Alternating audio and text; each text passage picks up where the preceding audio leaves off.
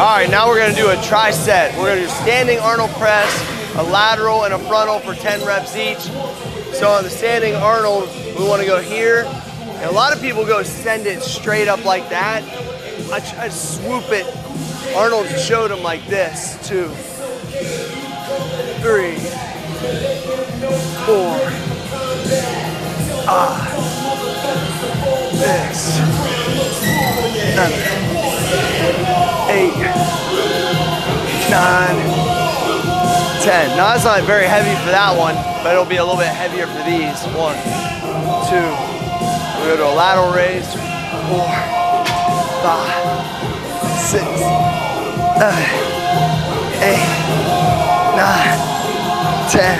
And then we'll go to uh, alternate frontal raise, just like eye level. But I like to try to keep the, the dumbbell like a little bit more like this. One, one, two, two, three, three, four, four, ah, five, six, six, seven, seven, eight, eight, nine, nine, 10. So it's a nice little quick tri-set for shoulders, burns, hits all the angles. Let's go and give it a try.